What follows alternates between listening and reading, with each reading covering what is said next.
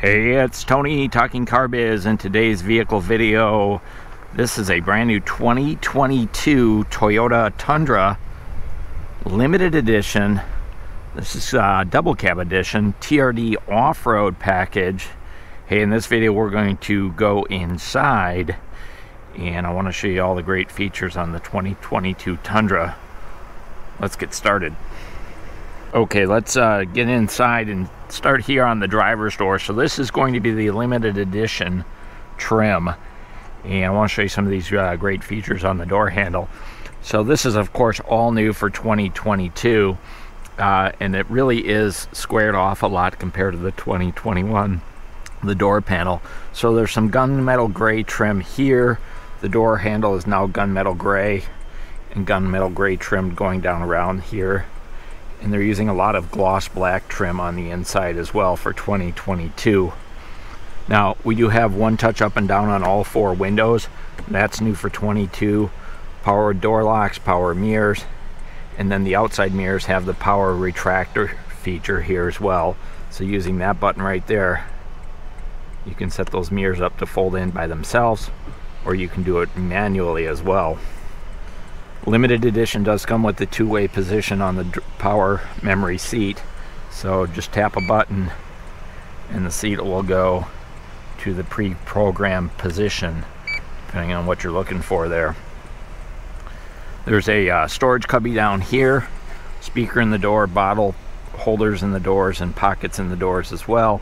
A little bit of uh, padding on the armrest and the upper part of the armrest here as well take a look at the uh, threshold as we go in.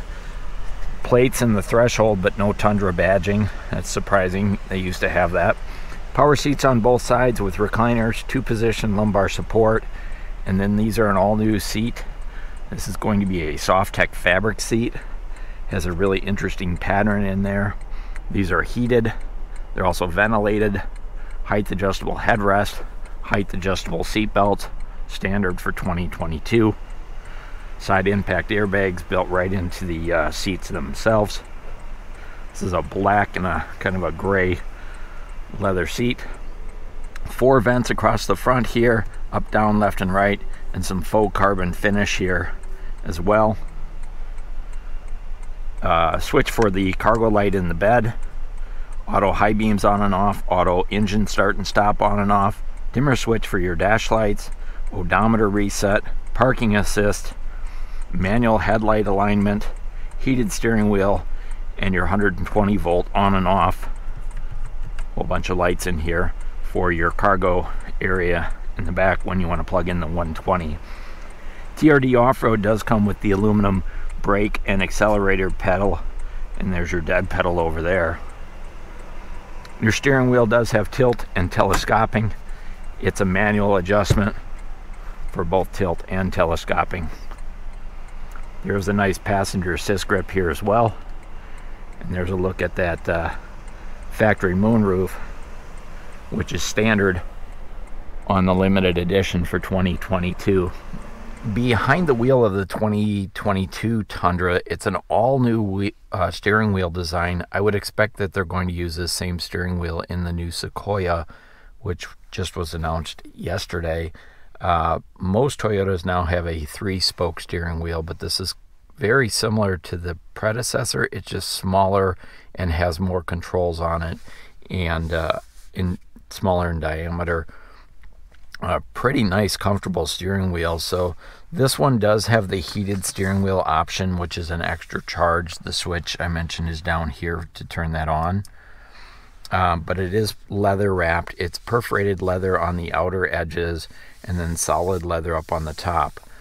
Now this is a limited uh, TRD off-road, so there's no red stitching like you'd see on a TRD Pro, um, but it is a smaller steering wheel overall. Uh, Toyota badge here. There's an airbag inside here as well. I like the uh, the brushed aluminum uh, finish or the trim that they have here. And then Toyota is having a big love affair with uh, this gloss black trim, which looks really nice, but I will say that it shows the dust uh, more than other finishes. Uh, ton of buttons on the steering wheel. So over on the left hand side, Here's your Bluetooth connectivity for your smartphone. These controls right here now control the information center, which is up in the gauge cluster. That's a 4.2 inch information center. I'll show you that in just a minute here. Uh, but we do also have your sound system controls, voice activation um, is here, and then over on the right hand side of the steering wheel, um, we've got our, our parking assist, our dynamic radar cruise control, we've got our lane departure, the cruise control settings are here, and then these here are some additional modes for your sound system. So there's quite a bit you can control just right here on the steering wheel. I'll go ahead and start it up. I want to show you the uh, animation when it starts up. Um, but before I do that, I wanted to show you, we do have a push button start, uh, which is standard on the Limited, but this has the TRD off-road package, so they go with the red switch with the TRD off-road package. Um, and your keyless entry is here. Interesting about the keyless entry fob, there is a button here to be able to open the tailgate with your keyless entry. So kind of like a trunk release for the truck. That's uh, standard on the limited edition, which is what this one is. So let's go ahead and just fire it up. You can see on the animation there, it's showing that the tailgate is now open because I pushed that button and I held it in. So let's go ahead and just start this up.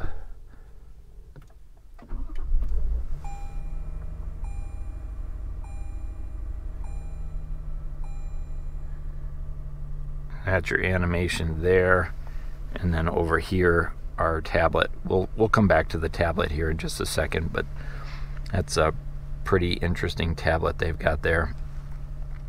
So on the right hand side, we've got controls for our washer and our wipers, and we do have intermittent wipers up front. And then over here on the left hand side, these are going to be all the controls for your headlights, your automatic headlights, which turns them on and off automatic, and then your fog light controls are right here as well. Take a quick look at the gauge cluster. So this is going to be the standard uh, gauge cluster for the limited. So reads Tundra up here, Tach and temperature on the left, oil pressure up here. I like the overall look of it with the with the uh, white on black gauge cluster. And then over here, there's a voltmeter for your battery, uh, speedometer and your fuel gauge. And then here's that multi-information center. And so default, you see the outside temperature, you see a clock, there's no messages, and your gear indicator. And then using the switches here on the steering wheel, we can go ahead and toggle through some of the other items. So there's a digital speedometer, compass, sound settings. These are your trip settings and then you've got your uh, lane tracing assist, pre-collision, blind spot monitoring, parking assist, rear cross traffic alert. So it allows you to turn these things on and off based on your individual preferences. So it's kind of nice to have that. And then there's a message center that tells you about anything that might be going wrong or any issues with the vehicle itself. So really easy to use. This is the standard non-digital uh, style. Uh, it's definitely very functional and easy to read from the driver's uh, position. Let's go ahead and move over toward the center console and the center stack. So this is a huge 14 inch touchscreen. Um, I'd like to be able to show you all the great features on here. Um, unfortunately, it requires you to set up a subscription to show the navigation. So I'm not able to show that. I'll switch over to your sound settings. Of course, we have AM, FM, also Sirius satellite radio, and it's very uh, responsive. I mean, it just a tap and everything goes really quickly. Um, of course, Toyota has published a video to their channel giving a full overview. So I'm just not able to do it because I haven't set up an account. I did suggest to Toyota that they set up a demo account for us. It's such an amazing system. Um, it is Sirius Satellite Radio. You do get the Platinum subscription, three months, no extra charge. Apple CarPlay, Android Auto, and Alexa all wirelessly uh, connect con- connectable, I should say. So moving down the center uh, console, the center stack, we do have our, our radio controls are here. We have our automatic temperature controls for front driver and front passenger and those can be set up individually. Go ahead and turn that down a little bit. You got the sun coming out from behind the clouds, so I'm just going to reposition the car here because that sun will be right in my camera in just a second and you're not going to be able to see it. So I'm just going to move it around here a little bit. Get that sun off of everything. There we go. Much better. So on the uh, temperature controls, we've got individual temperature controls. I do like these big toggle switches, particularly if you have gloves on. Super easy to operate. There's a USB port over here. Heated seat for the front passenger. Ventilated seat for the front passenger. You can see there's three different temperature settings or cooling settings. Uh, of course, air conditioning. Uh, rear window defrost, which also activates the uh, heating elements on your outside mirrors. So those are heated. Front window defrost, controls for the driver's ventilated seat or the driver's heated seat. And then they've got these huge toggle switches down here. This is a limited, so it has the uh, 360 view. You can see it's a little bit of an animation. Um, you can't stop it or do anything with it. It just kind of goes and gives you a parameter perimeter scan. That's snow that's on the ground here. So if I look outside, it's picking up that snow out there. And so it's just kind of giving me an overview of the outside.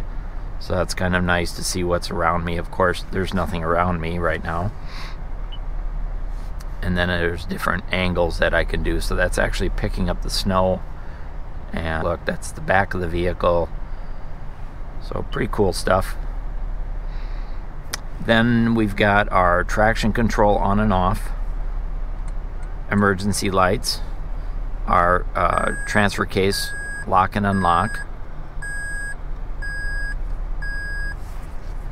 Down here there's a large storage area um, and this one has the power pack so you do get the wireless charging for your smartphone. You just drop your smartphone in there and away you go.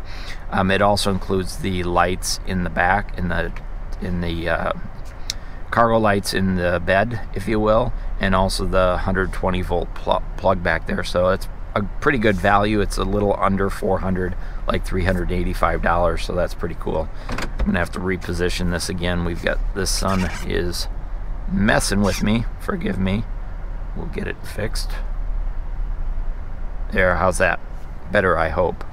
Um, go ahead and just sync those up here.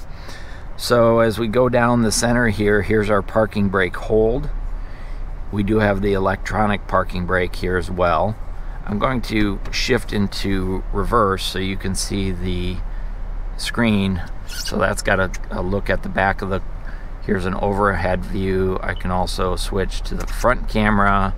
I can switch to the side, side mirrors. I can go straight to the back or I can have a direct view directly behind me. That's kind of an interesting view. So there are a lot of camera angles on here. That's our multi-terrain select, you can see. So stop by the dealership and take a look. There are endless opportunities with this camera system to be able to see the vehicle from all different angles. Um, but I think the backup one is pretty nice. So stop by and, and give it a look, play with it let me know your thoughts. So down on our center console, this is a limited with the TRD off-road package. So there's a leather wrap shifter and then the TRD badging. But if it were just a regular limited, that red logo wouldn't be there. And then more of that gloss black trim. Here's our two high, four high, and four low switches. And those are just a dial you push down and you select it instead of a knob on there. And then here is where we've got our drive modes. We can set up different uh, drive modes and you can kind of toggle through those using the switch here. Uh, the great thing about that is there's also a visual indicator up here on the gauges. You can see in the center, so sport, normal, and eco. right down here. And then we do have a, our tow haul mode is here. Our downhill assist with our crawl, crawl mode is here, which is, this is all new for the Tundra. Um, of course, you probably already know this, but this is from the Tacoma. And then our multi-terrain select. So we can go ahead and we got to turn that off. Let's turn that off, turn that off, and then we can go into multi-terrain select mode. There's also cup holders right here. And again, this huge storage area there is pretty nice. And then we'll take a quick look at our center console. So the armrest is, is just as big as last year's model, really wide. Um, but there's individual armrest on both sides, and then there's kind of these little storage or uh, trays that you can drop stuff. What I don't like about these trays is they're hard plastic. There's no liners in there. I think Toyota should have rubber liners so stuff doesn't rattle around. Um, but there's also a little door here which allows you to, you know, just a quick access to under the armrest. And then this also opens up like so to reveal a huge storage area down in here. Uh, there's USB ports right here. There's coin holders. There's little storage bins. This can be removed, can be taken out. I discovered this yesterday. This is pretty cool. There's little diagrams on the back there. And, and it reads Toyota, so you can see those vehicles. Just little tips like that. Um, in this area here, take my glove off so I can pull this out. There are rubber liners. These are all rubber rubber liners in here so stuff doesn't rattle. But if you pull them out, it's cool. They have these little cutouts. So that's a, a cutout of a Tundra. Cutout of, that's probably a Sequoia. But there's little cutouts in these rubber liners down in here. They do offer um, a uh, console safe, so like a vault safe you can put in here for if you practice concealed carry or what have you. So it's a nice big storage compartment under there. And there's a switch right here and another one over here for the passenger to be able to open that up. Take a look over on the passenger side. Here's a quick look at the passenger seats. Passenger assist grip. There's that faux uh, carbon finish up on the dashboard. Dashboard's padded. Nice glove box. It is a does have a key lock on there and there's your uh, owner's manuals in there as well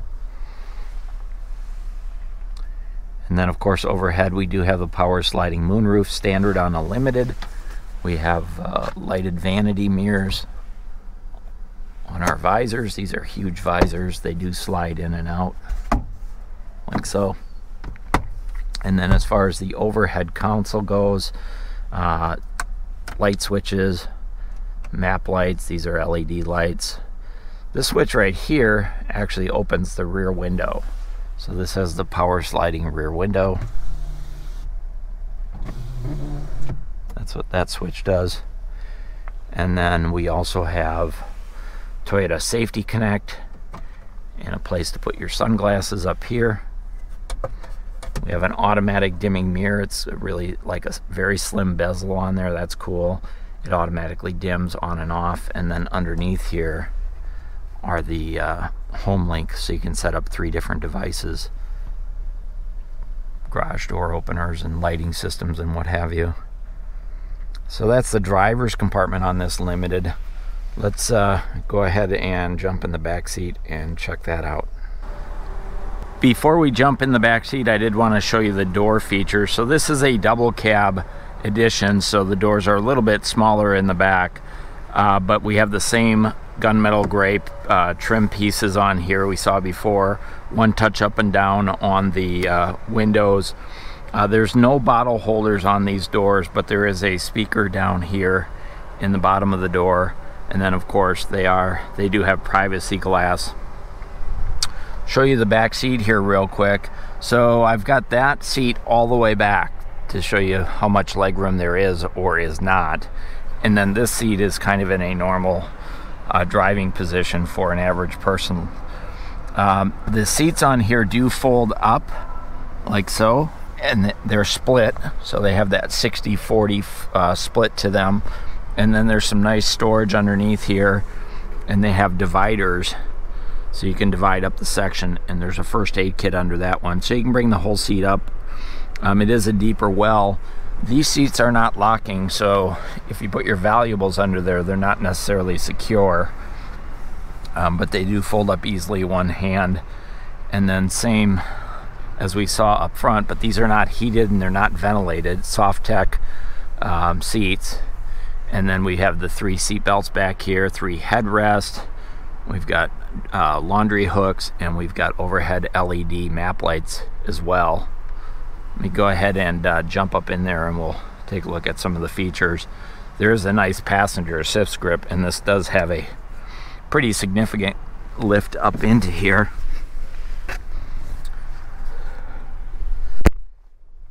So here's a uh, quick look at the driver compartment from the back seat. Really good visibility. These seats do sit up a little bit higher, so uh, kind of like theater or stadium uh, style seating. There's your moonroof. Now there are some cup holders right here in the console, which makes sense. They're up a little bit higher than they were before instead of being on the floor. There's a storage cubby here, and that's rubber lined. And then way down there are USB ports. And there's also 120 volt, 400 watt port down there as well. And those are all turned on by the switch up in the dashboard. There's pockets on the seats, both back seats. And like I said, this one with the seat in a normal driving position has that much leg room. That seat all the way back. I don't think you could get anybody behind that seat. But again, this is your double cab, so they do make a CrewMax if you need that extra passenger room regularly. Um, I'm just going to bring this armrest out because within the armrest there are cup holders here as well. So that's pretty nice. I think it's pretty comfortable back here for, you know, an average to below average size person. If I were a full grown man, which I'm not. I am a man, but I'm not full grown. Um, I don't think I'd want to ride back here too far, but it is pretty comfortable, and the visibility for me out the front is nice. So that's the uh, interior overview on this 2022 Toyota Tundra limited edition double cab TRD off-road. This one does have the all-weather floor mats for 169 bucks. Those are awesome. I strongly recommend getting those right from the factory. They're like a WeatherTech style and the quality is excellent. Hey, if you like this video, if you got value, go ahead and hit that thumbs up. If you want more like it, make sure you subscribe to the channel. I want to make sure I'm giving you good value for your time. This is the uh, 2022 Toyota Tundra Limited Double Cab and Tony Talking Car Biz. Thanks for watching.